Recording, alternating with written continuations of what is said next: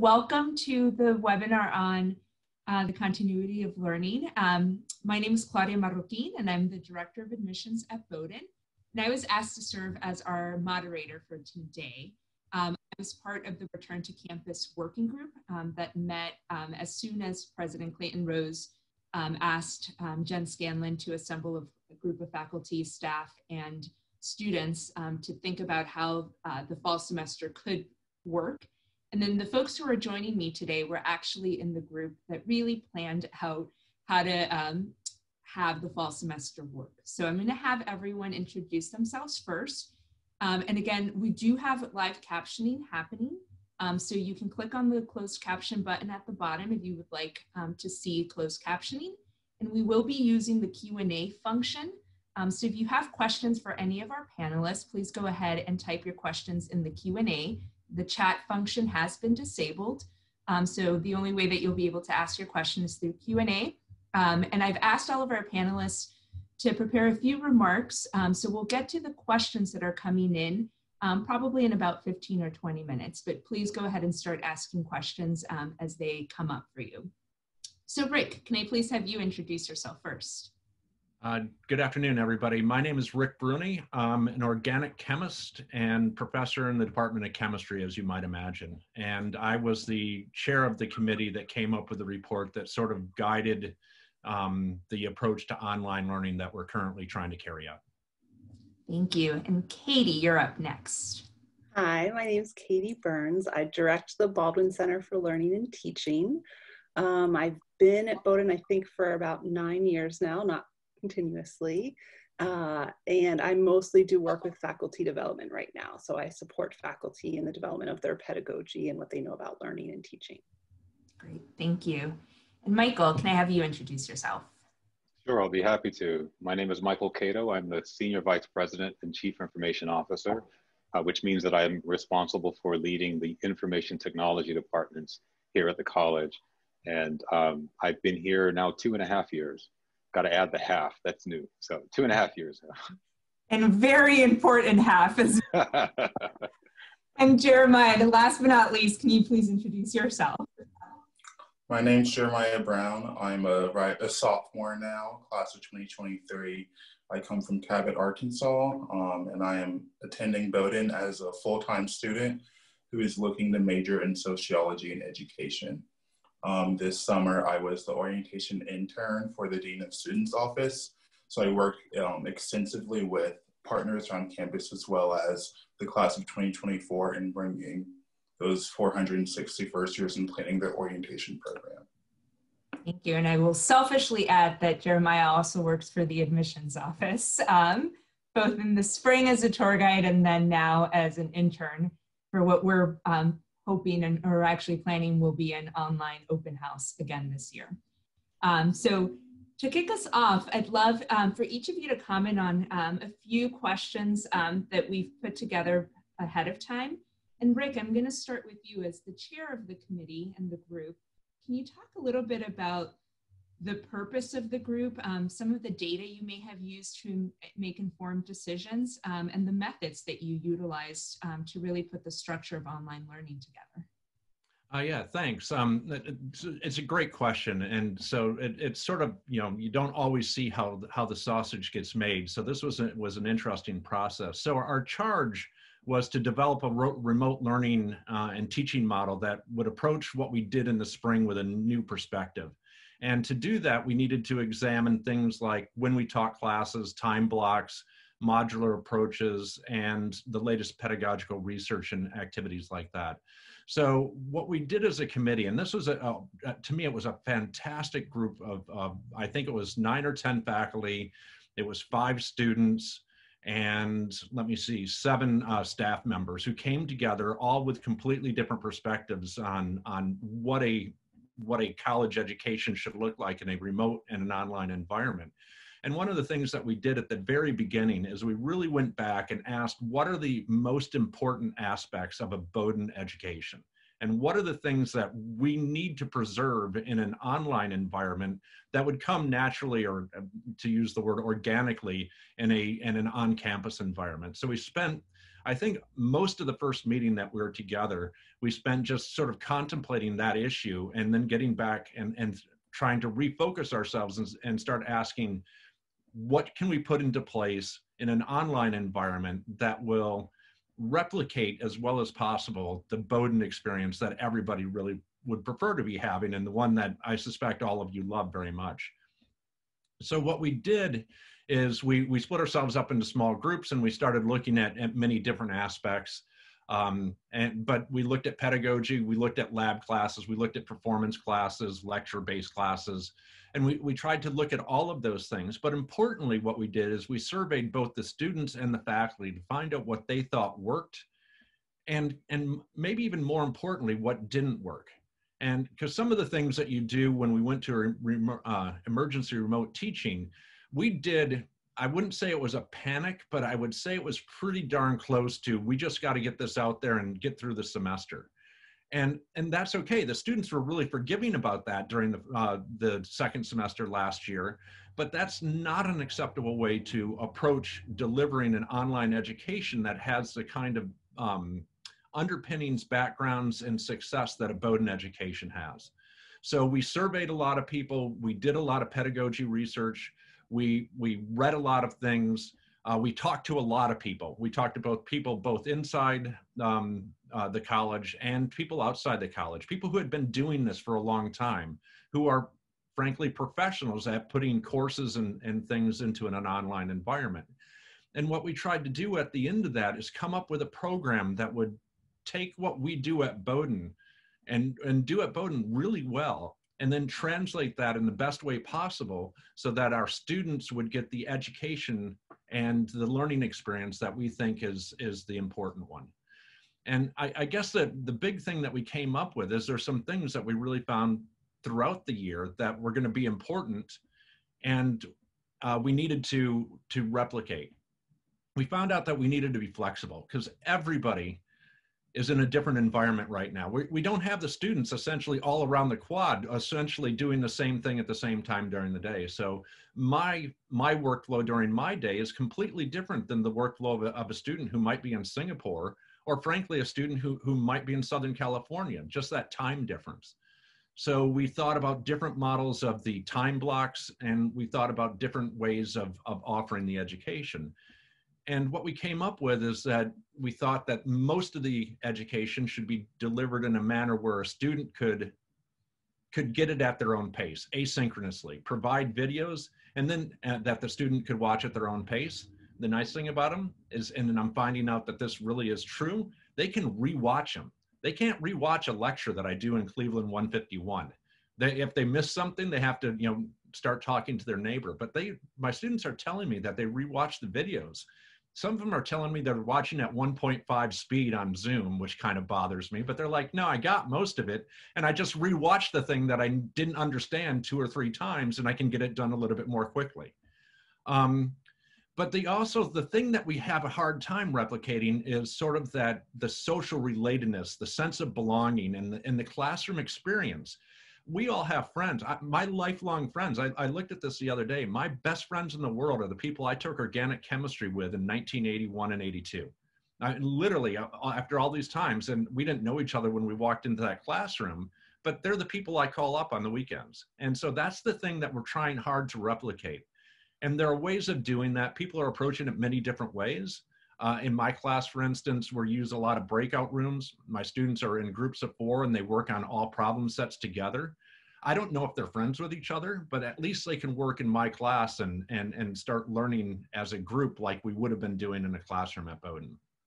So we wanted to be student centered. We needed to make sure the course materials were available and accessible to all of our students. We needed to make sure students had the ability to access our courses. Um, we needed to build community. We needed to make sure that everything we do is equitable. That if a student is in one environment, they get the same learning experience as a student in a different environment. And at the same time, we need to make sure they stay engaged because if a student's off just looking at videos, it's really easy to glance down at your phone and get distracted, multitask. It doesn't work. And we also need to make sure our students were going to be challenged with viewpoints other than the one that they brought to the classroom. So all of those things come together into something that we value about a, a Bowdoin education. And the plan that we came up with and the, the structures we tried to put into place were to address those issues.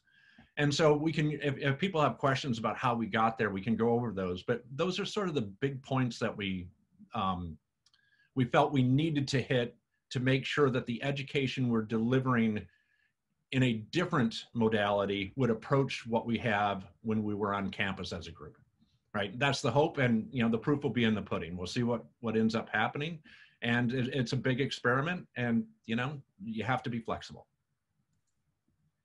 Thank you so much for that rick. I can imagine how much time and effort went into this endeavor and uh, the laborious nature of um, creating something from scratch um, so thank you for all of that yeah, I'll just say I'm not sure I ever want to chair a committee of 22 ever again.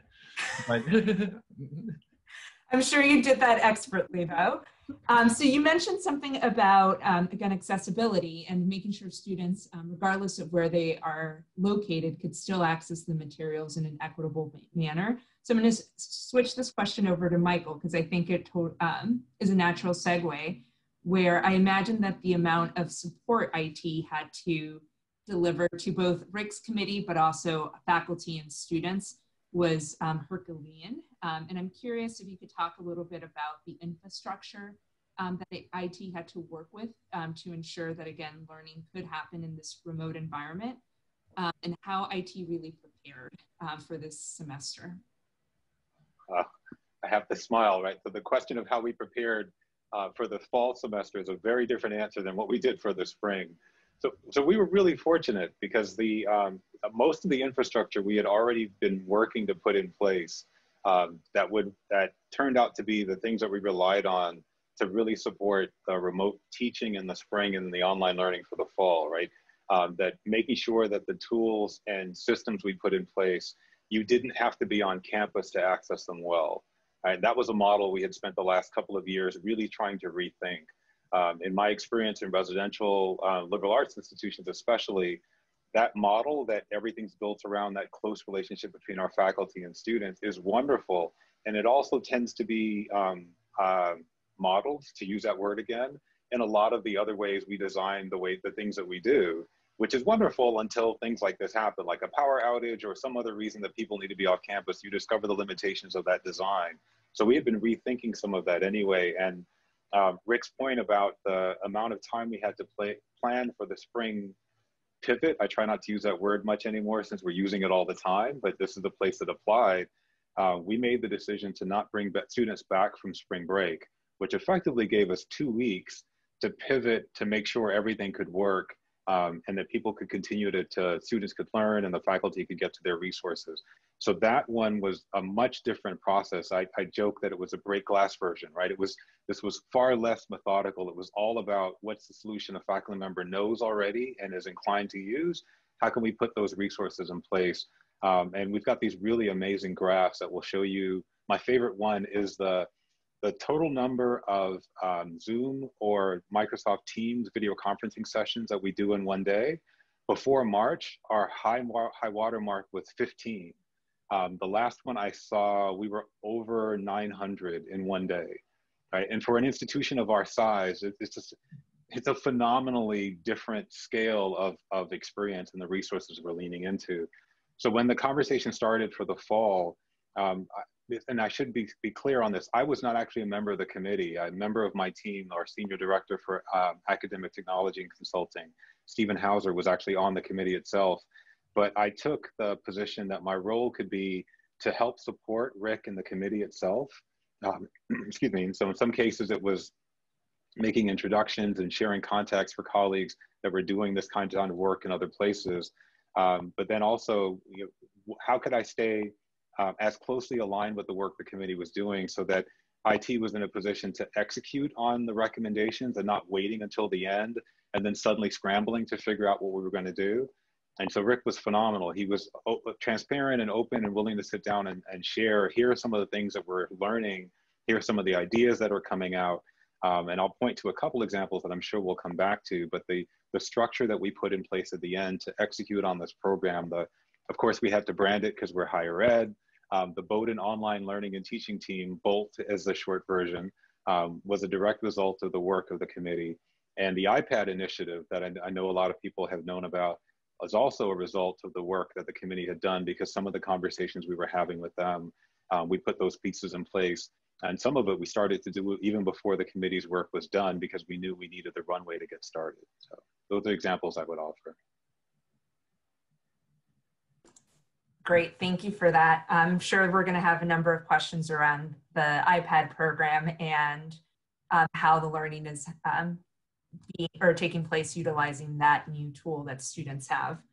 Um, but Katie, I'm going to switch to you and ask um, if you could speak a little bit about the support faculty received um, to again transition from being in the classroom to really delivering their education um, and really any hallmarks of pedagogy that you worked with them and then what kind of support students um, are also receiving right now um, as they are navigating, you know, a, a different remote experience um, in the fall semester.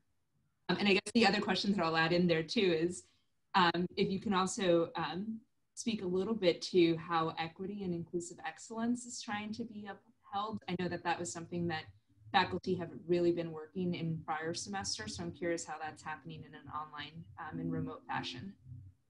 Sure. Thanks, Claudia. And you can remind me if I forget something, those questions. Um, but I was thinking the one thing that I've heard Rick say that he didn't say this time is that when we were on this committee, we didn't know what the decision was yet about what the fall was going to look like. And I think that's an important thing to remember that basically this work was all happening that as like this was one possibility for what this fall could be. And so it wasn't actually until the end of June. I mean, faculty really had sort of two months to get ready, which is a huge difference from two weeks in the spring. Um, but they had two months to sort of prepare for this fall and what that was like. And so we tried to do a couple of different things. So one of the sort of one of the more fun things that we did was that we worked with Bates and Colby on this course design experience. So faculty had the opportunity to either do a three day intensive or a three week sort of more slower paced course where they got to pick one course they were teaching in the fall, sort of rethink their learning goals for the course, what would work for the environment that they were going to be teaching in, and what was fascinating is that each college made a different decision about what was happening in the fall. So there were just great conversations that happened as a part of that. There was so much learning that happened between faculty. They thought about their assignments and then they thought about sort of what would they do day to day in their classes. And so we had, I think at, from Bowdoin, over 100 faculty participated in those three over the summer. So there was one in June, two in July, and then one in August as well. And then at some point, we also made the decision because, as you all know, we have a pretty small staff. And so, especially academic technology and consulting, that group was going to be overwhelmed with the support that we were asking them to do. And so we brought on this outside partner called Everspring to help with some of that support. And so in August, departments also met with an Everspring consultant and with someone from academic technology and consulting and with their uh, instructional librarian who was their liaison as well. And so there were weekly meetings by department that faculty got to share, okay, here's what I'm working on for my course. How do I do this? Are there other ways I could think about that. And then there were tons and tons of individual consultations that happened, sort of with all the different support people. Um, but really, the instructional designers at Everspring, our academic technology consulting folks, and then the instructional librarians did so much of the work to sort of support faculty to get ready for this fall in lots of ways and, and sort of think of what was possible and then with one thing we all know and we've sort of learned with online learning is that it forces us to be much more transparent in our teaching and in our pedagogy. That you can't sort of rely on, oh, I forgot to say this last class, so I'm just going to say it now you just have to be really clear about what you're doing and why and where things are going, where students can access things. And so we tried to make it much more consistent, at least across courses a little bit. So Blackboard, as you know, those of you who are alum have used, right, became the main portal where, where students go to get access to their courses. And then there's a lot of work when you're putting things online that makes it just easier to be more accessible. There are ways that you can just check a PDF so that it's easier to download. So some of those little things faculty just started to do and sort of integrate as they're like curating their course materials, as they're recording their lectures, this idea that we can now have closed captioning. So with video, you can able to have that when you watch something, you can slow something down or speed it up. Um, and then we try to just help faculty part of what they did in the course design experience was to be an online learner. And so they really got a sense of like, oh, this is what it's like. This how, is how long it takes to watch something. It's not just the amount of time that it's there. If I want to pause or take notes, it's going to take longer. And so having some of those experiences, I think, helped them to be much more aware of what learners will experience in an online environment. And so that helps to build and create sort of more equity and more inclusion and accessibility as well. Thank you for that. And I have to admit, both you and Rick have mentioned, um, again, the advantages of some of the platforms now, especially with videos and being able to speed up and slow things down. I myself am taking some online classes, and that has been something that I have found to be really helpful um, and really having the learning go at the pace that feels comfortable. Um, so Jeremiah, I'm going to switch the, these last two questions to you because again, you are a student experiencing uh, this remote learning. Um, and I know you obviously had to do the shift in the spring. So can you, first part of the question is talk a little bit about how this is going for you so far. Um, what are some of the benefits you're seeing? And again, some of the things that you wish um, could be in place. Um, and then the second part of this question is you mentioned earlier that you were an orientation intern. Um, so you were a support to all of the first year students as they transitioned into their time at Bowdoin. Um, anything that you learned there that you think um, would be valuable to share with our alums and anything that you learned that you're now kind of putting into practice as you learn um, through this remote um, setting? Definitely. Um, and if I forget something, please remind me. But I think it is an interesting position that I was wearing this summer of being both a student experiencing all these things, a student who is coping with what it means for me personally, but then also trying to be a support system for the first years. And so I'm going to kind of split those two modalities because that's what I had to learn to do. Um, and so being a student, first and foremost, I think it's wonderful. The work that's been done and the changes and just the progression was absolutely phenomenal. In that, in the spring, whenever we first came back for a bunch of students, what I think faculty and staff really had to clue into that they didn't before is that students have very different home lives and home situations and things that are just not synonymous with who they are or how they can present themselves at Bowdoin. Um, and so for some students, going back home now meant that they are full-time employed and they have to work. They have to help their family or they have to help someone somewhere provide. And so school and education can no longer be the main focus. And I think that in the spring, that was a hard reality for a bunch of people, myself included, um, is we had to kind of tune into each other's home situations in a way that you normally wouldn't have to so exclusively at Bowdoin. Um, and in this new fall semester now, we're seeing so much more preparation and so much better understanding of not only from the faculty side, but also from the student side. Like we under, there was time for, as Michael mentioned, the pivot. And so we now are able to better establish work schedules. We're able to do things in a way that better situates us as students to navigate through the educational learning and the educational processing. So I think that there's this academic side that everything that they're doing, everything that we're being prepared for is now um, we're experiencing in a much better way, in a much more beneficial way. But simultaneously, there's this social interaction, I think, um, this connection between students that we had to figure out what does that mean in a new online format? How do you make friends um, when you're completely virtual? And so that's something that likewise we didn't do as well, I think, in the spring, in that students kind of stopped talking to each other and we started talking to our friends from high school because we're all now back in the same place in the same town.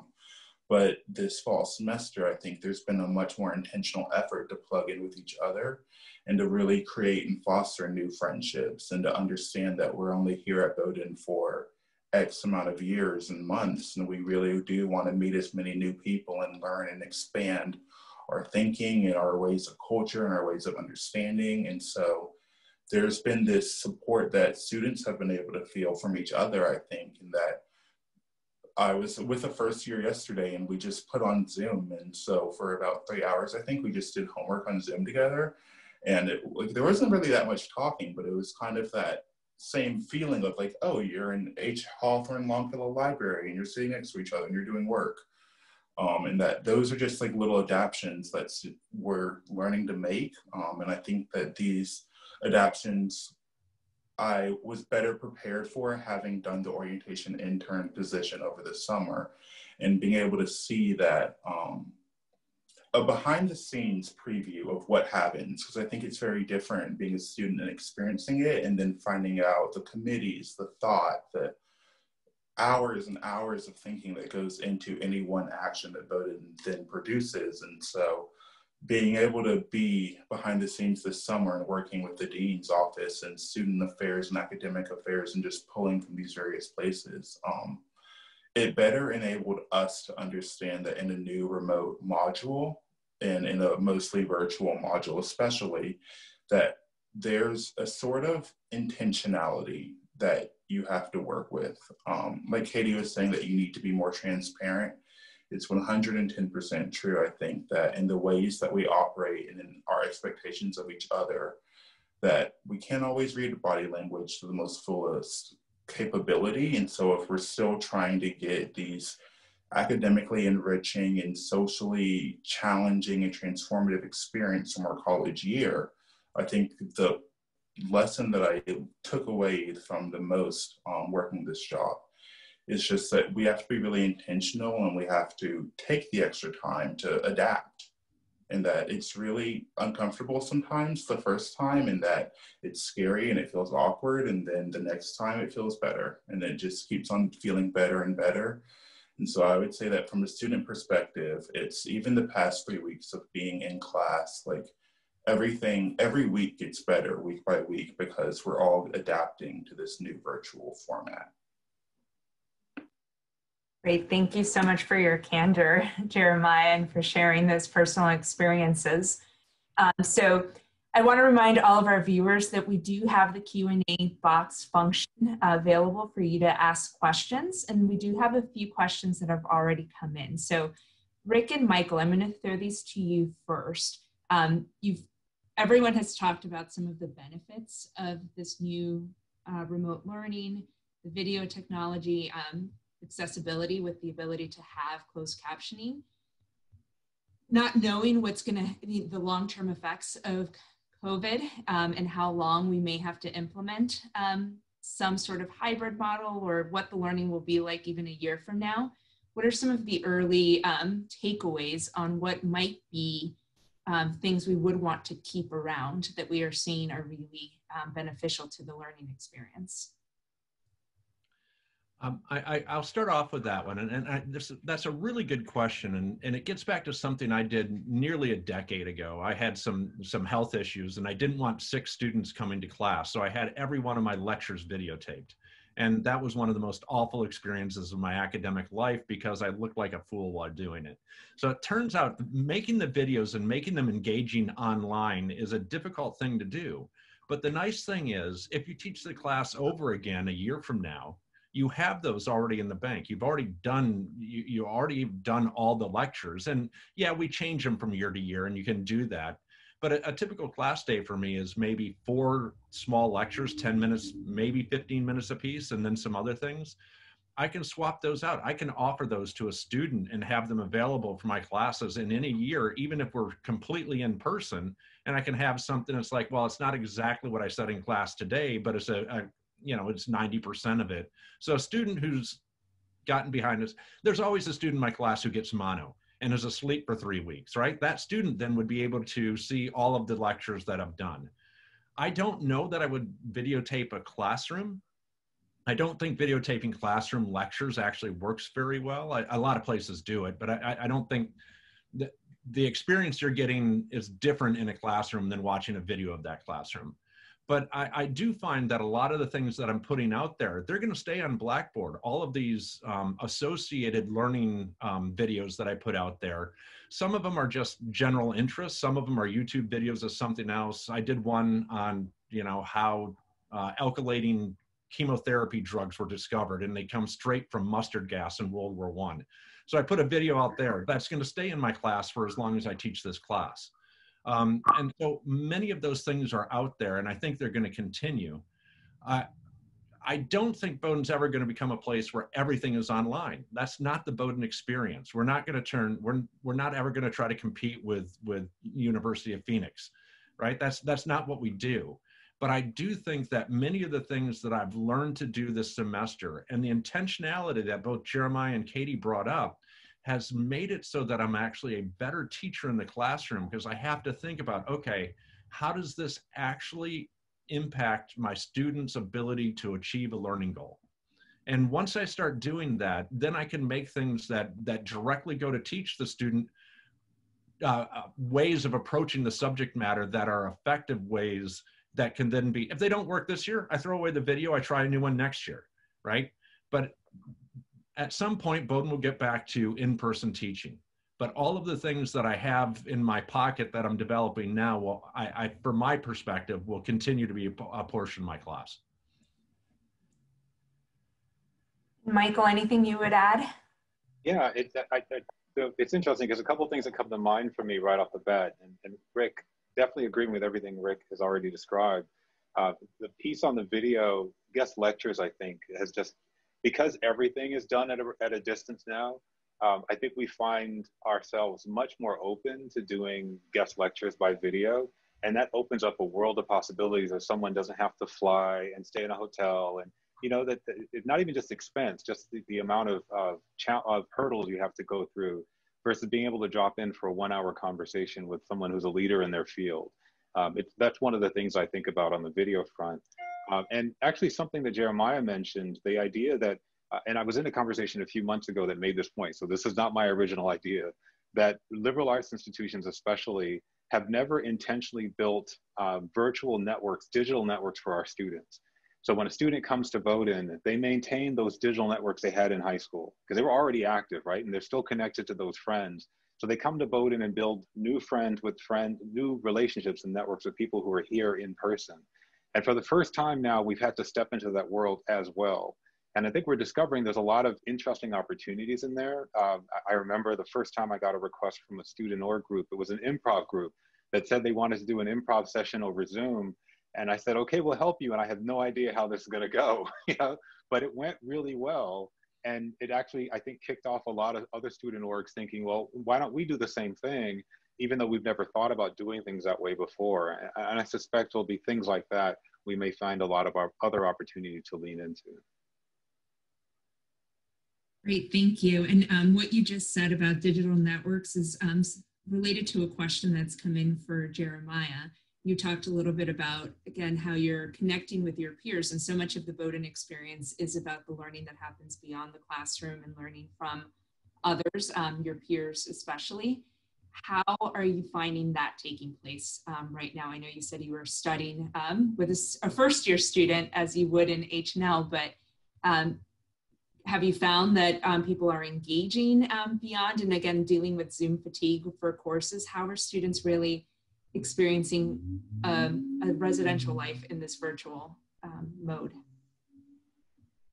I think it's a good question because the answer is not set yet. Um, very much so that it's this awkward sort of tension that's not bad tension, but it's really good tension of us trying to learn what the level of intimacy can be with each other and that it, a big way that relationships form and that students converse and you make your best friends at Bowdoin, at least in the experiences of my direct peers and those who I'm close with, it's you accidentally stay up in Smith Union talking until 3 a.m. and then you're like, oh, I have to go do my homework now. Sorry. Um, it's these casual conversations that you can't be so casual about whenever you're in an online module. And so the question then is how do you create a deep, intimate friendship with someone that you're meeting for the first time over a virtual format? And if that friendship can sustain itself, really. Um, and I'm not sure that we've entirely figured out the answer, but I can say that what we are doing so far is small things like FaceTime we figured out feels a lot more casual than creating a Zoom link to hop onto a Zoom and then there's like that those extra steps make it feel more formalized, make it feel weird, awkward. Um, and so for a lot of the conversations that me and my friends are having were it's like, oh, did you FaceTime them or did you Zoom them? Because that's a difference. And it kind of like tells you a little bit about their relationship. Um, and then there are other things like using Instagram DM and sending them funny memes or sending them posts. Like that's a new form of communication that I think we haven't typically used as conversation starters amongst people in my generation. Um, but now we're finding it more and more so. Like there's this something that a kid in my class said today that I'll send him a post to, and that is what I use. It's intentional that I'm trying to start a conversation. Um, and the way that to do that is using this new Instagram digital content um, as a sort of social barrier to enable us to do so. Saw you react, Michael. Is there something you wanted to add? Yeah, actually, it's what it, well, tell Jeremiah, thank you for that point, because it, it helps me think about something that's been, we've been observing and I have not been able to puzzle out why. Ever since we pivoted in March, we've been collecting the, the usage information on Microsoft Teams and Zoom. And the Teams pattern has been our usage is higher at the beginning of the week and then kind of decreases as you go through the week. Our Zoom usage is the exact reverse. We have higher Zoom utilization on the weekends than during the week. And that pattern is held almost every week since March and have not been able to figure out why. So, it, and it, we've had a suspicion that there's a lot more um, individual personal use, like outside of class and between students. Uh, but I hadn't thought about the, the piece that you're suggesting, Jeremiah, that there might be this sense of formality and informality that students are also navigating so that what we're seeing is definitely doesn't represent all of the activity of how they're connecting to each other when it comes to just video. Thank you for that. Um, Katie, I'm going to um, switch to you. There's a question again on how students are receiving academic support and how they're um, cultivating meaningful connections with faculty. Um, so I'm curious if from the lens of the Baldwin Learning Center, you can comment on that. And then Rick, I'm going to go to you with um, office hours and how um, faculty are connecting with students in more informal ways. Yeah, and that was, I think, fascinating to me to notice in the spring. I felt like I almost got more one on one time with students when we pivoted to online because you could have those interactions. So it was it was fascinating to see that there was the barrier sometimes of coming to an office to meet with a professor versus just getting on a zoom call. They were much more likely to do it. So that was fascinating to see that happen. And then we were very lucky at the baldwin center that we had already had this online system that we used for making appointments comes from the writing center world. And so we were using that for writing assistants for q tutors and for our mentors. And what it also provided us was the ability to meet virtually in this space so that students can share their screen, can look at a paper together. Now with the iPads, they're actually sort of working on equations together on an iPad and sharing the screen that way. And so those services have actually been seamless and kept going. Um, in the spring, we noticed there was a little drop in usage when, because we all moved to credit, no credit classes. And I think with everything going on for students, right, they were just getting through the rest of that semester. What we've seen now in the fall is that HED has spiked way back up and students are taking advantage of all these resources. So they're meeting with writing assistants, they're meeting with their quantitative reasoning tutors, and they're meeting with mentors to help them figure out how can I set up a study space? How can I manage my time? How can I be aware of what I have coming up? And so setting up sort of structures. So students are really taking advantage of that in lots of ways. And then we also recently in the spring hired a new person to sort of serve as an academic coach and lead our mentoring programs. And so she's working with the mentors. They're starting what we call Wicked Smart groups. So students can be in groups together to learn sort of some tech hacks to learn online. Or there's a group now, particularly for students who have ADHD and want to sort of get together and figure out strategies that are working for them and share ideas. So those are some of the things. So there's the individual sort of consultation piece as well, but then these groups that are also students are taking advantage of. Thank you. And Brake, is there anything you would add about how faculty are supporting students um, informally or in formal ways? Yeah, so there's a couple of different ways. So one of the things that I, I think I said in my opening is we have to be flexible because all of my students are going to have questions at different times. So uh, one of the things I do is that we have discussion boards, we have email and all of those things. And I tell my students I will I'll tell them when I'm going to look at those, when I'm going to answer emails, and I'll get back to you no later than this because we're all doing things during the day. We're, I, I, don't like being barraged with, with emails, but we also hired uh, TAs and, and learning assistants for our courses, or a lot of us did. And so for my organic chemistry course, for instance, I actually have three students who do uh, each do two hours a week of just drop-in tutoring time for the for the students in my course. So if they're working on homework by themselves, um, uh, they can they can drop into these groups and then they have the ability to have somebody there who who has a good idea of what's going on and then other students who are in the room at the same time or in the zoom session at the same time who can be working on the same thing. It was sort of like when jeremiah said he was sort of virtually in h&l working with another student even though they're over a zoom call but I also do the office hours the same way. As a matter of fact, as soon as this gets done, I have office hours for my organic class, Friday afternoon office hours. Um, and you know, it's just I open up a Zoom session, and whoever wants to stop by, they can. It's it's the same thing. My students used to just walk by my door, and if I was at my desk, they could ask a question. And um, so it's the same way here. But the idea that we that we can do this all in one fashion for all of our students isn't really accurate anymore, right? We could always assume our students could come over and meet with us sometime during the week because they were on campus. And so I have students who send me send me emails in the middle of the night and I get back to them as soon as I can. I know that they're working on things on a completely different sleep schedule than I am. And you know, I can't I'm I'm usually not awake at 3 a.m. I mean, and and I'm not checking my email if I am. But the idea is we just have to be as flexible as possible. So the students, I think, are still getting their questions answered, and it might even be a little bit more effective than it was previously, because I, you know, there's a lot of communication that we have encouraged between the faculty and the students. Make sure your students know when you're available. Lay it out for them, put something on there so that they know when they can expect to have a response from you. And if we do that, and that's the intentionality, we just put it out there. And rather than just guessing that a student knows what an office hour is, right? First year students don't know what office hours are. They think it might be the time where they're not allowed to come to your office because you're working, right? Um, so we have to just intentionally tell our students, uh, come and ask me questions between 2.30 and 4 on Friday afternoon or, you know, Tuesday morning at 9 o'clock. So I, I think the support for the students is still there in the way that most of our alums would have expected from the faculty were they on campus. Thank you. And I'm going to stay with you for one additional question. Um, folks are curious if there's any consensus from the faculty as to the quality of work that students are turning in. Earlier, you had mentioned you know, the distractions that are inherent in remote learning.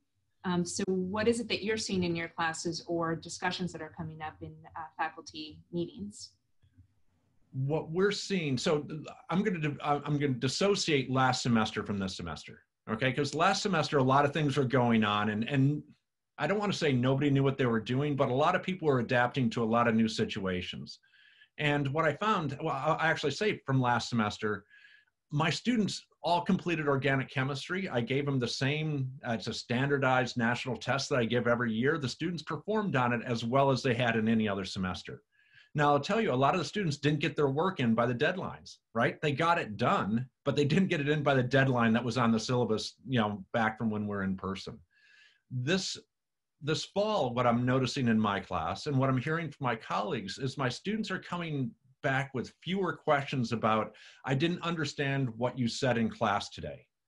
What we're hearing from students is, I've been doing the problems and I really don't understand how to get to this. And so a lot of the questions that I'm, that I'm hearing from students are more substantive rather than, let's call them procedural. And the assignments that are being turned in I see that they're working with other students, but I would say that the quality of those assignments, and we're what, three weeks into a semester, so I don't want to make a grandiose statement, but the quality seems to be equal to what I was what I was seeing when they were on campus. I, I, I was grading homework this morning. I mentioned to my wife that why is it after 27 years asking the same question my students are still getting the answer wrong in the same way? And the answer is because i haven't taught them how to do it properly yet and i still have to figure out how to do that right? So they're still doing the same things they've always done and i think the quality of the work is at the level that we've expected. Now as we go through a semester we're going to have to see how that continues and hope that the that the ramp that we normally see during over a course of a semester of more sophisticated work coming from our students continues to, to go up. But indications are that the students are learning in much the same way that they did when they're on campus. Thank you.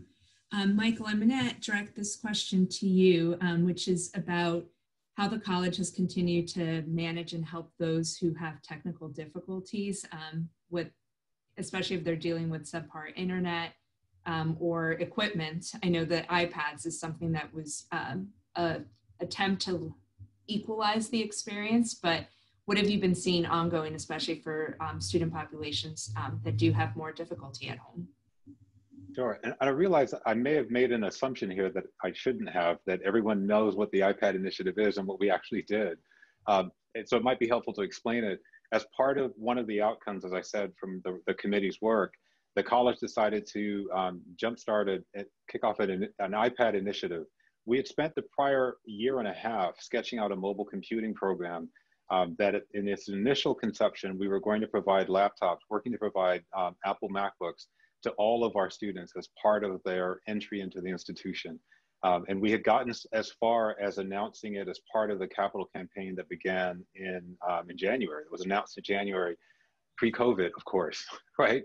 So when all of this started, um, we had a lot, laid a lot of the groundwork. But one question we had to answer right away is, do we still move forward with laptops, which we knew we could be helpful in a lot of regards, but also still had some gaps. And internet connectivity was one of them. Another that the committee really helped us see was using the digital inks, using the Apple pen, pencils with the in the combination with the iPads would open up a lot of opportunity for um, the, the, sciences, chemistry, physics, um, non-Roman character languages, for them to interact with their students in very different ways that would be more supportive of doing this from a distance and doing it online. So those are the reasons that we started to look at iPads and we were weighing the difference between iPads and the laptops. And in addition, we chose iPad Pros that have built-in cellular internet connectivity so that they can actually connect on their own. Um, and the college went the extra step of making the offer to any student that if you can afford it yourself, you feel free to turn it on yourself, add it to your personal cell phone account, add it to your family's account. If cost is an issue, reach out to the college. We set up a process, and the college will pay for that service. Um, in the U.S., we are adding those accounts to the uh, those devices to the to Bowdoin's um, AT&T and Verizon account. And I'm really proud of the team that's doing this work. They've actually gone so far as to look up the addresses where the students who are requesting that it be paid for, where they're spending most of their time, and then finding the cell phone provider that works best in that area. They're actually looking up coverage maps. So this isn't random, and we're just not just picking the, the device, excuse me, the carrier that we already have a relationship with. And for students who are studying outside of the US, we're taking a similar approach, but instead of creating accounts like a whole bunch of accounts in a bunch of different companies, countries, excuse me, for a handful of students, we're working with those students to provide the resources to offset the cost so they can get the service themselves. So those are my two starting answers. The other piece that happened with technical support, in addition to the things we've always had for students to email questions or call in, because we picked Apple devices, they can provide, they can actually receive support at any Apple store, any in the, anywhere in the world, because a warranty is attached to the device and you don't have to be a Bowdoin employee to be able to take that device in and get some support. So we've added a couple of layers. Now, mind you, this doesn't work everywhere and it doesn't solve everything, but it, we feel it does go considerably further than we were in a position to do previously. Thank you. And Katie, I know you've been busy answering some questions and some of these um, kind of come from uh, some of the points Michael was making around courses that do use lab time, studio classes, um, the arts. can you speak a little bit to how um, you've been supporting faculty to be creative and innovative um, with the that piece of the learning experience? Sure, and, and Rick knows more about the labs in lots of ways, but I, I've been so impressed that this happened in the spring and then more and more faculty are doing it this fall of basically creating kits that they're mailing to students in their class, um, which is just sort of fascinating to see. So they're sort of thinking about what they want them to do in the semester, and then anything that they could sort of send to them that they could use to sort of have do an experiment or to create something or as a stimulus for an art project, they're mailing to them, which has just been fascinating to see. And then there's been a lot more sort of like physical demonstrations of things. So whether it's live or pre-recorded, where they're setting up these really intricate ways to have our camera look down and to watch their hand draw something, right? So students still get to see that process as well. Um, but that's, it's been really fascinating. But those, I think, especially even as we were working on this report, those were the big areas to try to figure out how do you have this high quality learning for these art classes and the labs online. So Rick, I don't know if you want to add a little bit more about the labs. Um, I can. So a lot of the labs, a lot of the people are, some things go very well, you know, so uh, some, I don't want to pick on anybody, but you could imagine somebody going for a walk in an ecology class through a different environment rather than going to the Bowdoin Pines, right? And you can accomplish many of the things in an online environment, you know, directed appropriately. But other ones just don't translate as well right? And and there's some things that it, it, pains me that my organic chemistry students right now are not in the lab you know mixing chemicals together but there's just some things we can't do. So what we've had to do is we had to think about what experiences can we offer them and then think about where we're going to put those learning experiences in a future semester so that they actually get the the um the practical experience that they need. So um, you know, so some people are are sending the, the kits home. Other people are are making, you know, as Katie said, I know that the the studio art people have this figured out, and they actually have a very interesting program. Um, but you know, it's a challenge, and you know, it's one of those things. It's there are certain things you can imagine. How do you do a chorus when you're virtual with given the the lag time or the latency. You know, it's these words that weren't in my, my vocabulary six months ago and now get thrown about with abandon, but you can't really do it very well, right? And so we're, we're just having to rethink about how we offer experiences this semester and then think about where we're going to make up for those experiences in future semesters. Because at a certain point, a chemist needs to mix chemicals together. And as I've said many times, it's literally illegal for me to mail them to somebody's home right? And not that I'd want to do that either. Nobody needs to have ether boiling on their kitchen stove. So, um, but yeah, it, it's a real issue. But we've gotten as good as we can. You know, my lab instructors are wearing GoPro cameras on their chest and they're carrying out the lab, and then they're making mistakes. And students have to choose their own adventure and they have to choose the correct way to do it. And sometimes they get to start all over again because they chose the wrong direction, right? But it, it's it's what we can do and then we'll make up for the rest of it later. Thank you. Um, Jeremiah and Rick, I'm curious if you can comment on this question, um, whether you've, Jeremiah first, if you felt that the move to the virtual model impacted your ability to select courses and the breadth of the curriculum that you were accustomed to from your first year. Um, sure. I think that there's a better grasp on depth of courses and what it's going to be and that when we read through the course selection handbook um, the courses made it very clear kind of what they were going into i think in a way that normally it's you show up on the first day and you get the syllabus and you read through it and you're like oh that's what we're really doing. Um, that we now had that knowledge beforehand and so amongst me and my friends we we're more willing and more daring, I think, to go into areas that we typically don't. I know one of my friends is doing two INS credits this year instead of just one because she's like, I'm really going to go for it. I'm going to try it out while we have this online module where I can just rewatch the video three times because that's what it's going to take. Um, and so I think that, and it very much does impact our course selection, but not in the ways that we originally imagined and said it's in ways of confidence and this like daredevil spirit of I'm going to try it out because this semester has been so crazy. Like, might as well try a crazy class. Love there's still that adventuresome spirit there. Um, Rick, is there anything you would add from the faculty viewpoint if there were any changes to course offerings by departments? Yeah, I, I, do know that some departments redid the way, a lot of departments redid completely what they were teaching. So I know that the um, uh, um, theater actually put a, took one course out of the, out of their schedule and put one in called acting for the camera right? So if we're going to do this, let's act, you know, since we're going to be doing it on camera, we might as well actually practice doing it for the camera. Um, other ones, I, I know I moved, we moved things between semesters because the, you know, we're all hoping we can be back in the spring semester. It isn't looking completely likely, but we all hope we can. And, and there's some classes that it was worth just switching semesters to see whether or not maybe next semester we could have a, a different set of students. Um, but I'll tell you that my organic chemistry class, for instance, the enrollment is higher this year than it was last year.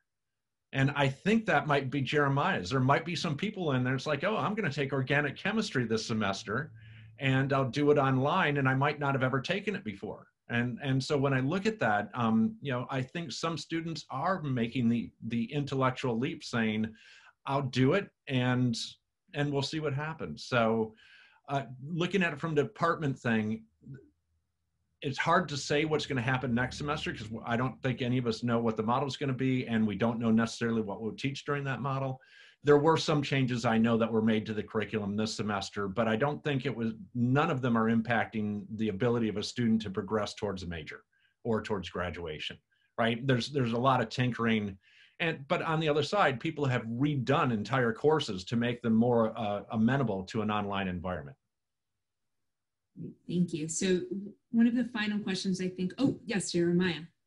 Um, I just want to add real quickly that as well um, to Rick's point, I think there's also the registrar, and I want to plug the work and whoever, I don't know where that committee came from or what that brainchild was, but there's also support provided for the actual grades um, and for navigating what to do if your grades start declining. And so having that built-in support that was made known to students before the semester even started, I think that's also been part of what's helped encourage the push to try out new things is knowing that there's going to be accommodations and understanding and there's going to be support provided from the registrar's office as needed.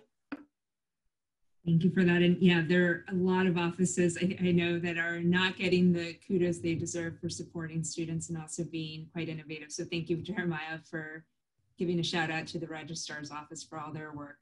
Um, so I'm looking at the time and there was one question that I wanted to ask and then I'll see if anyone has any final remarks. But Rick and Katie, um, earlier you had talked about some of the work that you had done with other institutions. Um, Colby and Bates were mentioned as um, part of the um, sessions over the summer with faculty. And Rick, um, you mentioned speaking to a number of institutions. Um, folks were curious if Bowdoin had consulted with public higher ed colleges and universities who perhaps have been Um, teaching remotely um, and doing online learning um, far longer than Bowdoin.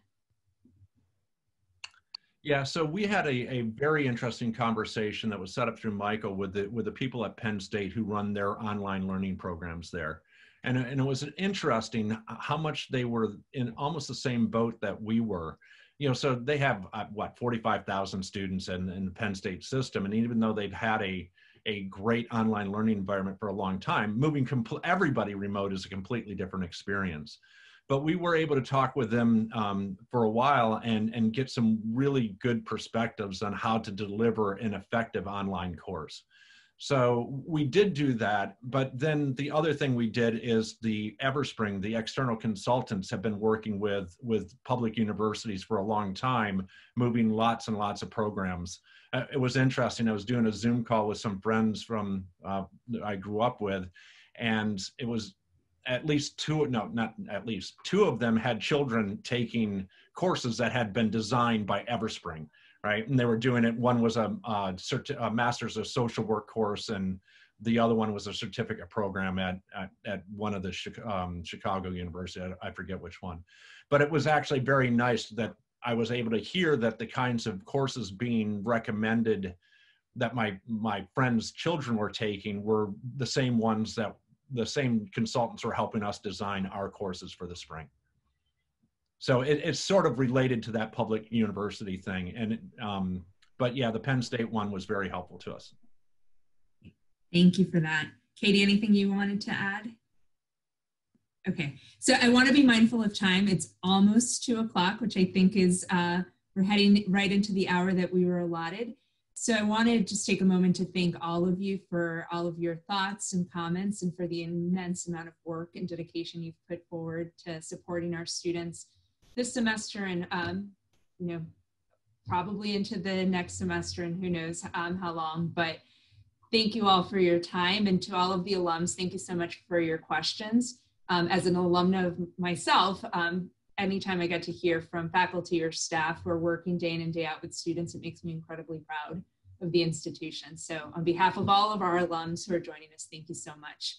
Um, so I wish you all a great afternoon and for our alumni volunteers, um, I hope you continue to engage thoughtfully and meaningfully during the rest of the conference. Um, but thank you for spending this past hour with us. So good afternoon. Bye. Thank you. Bye, everybody.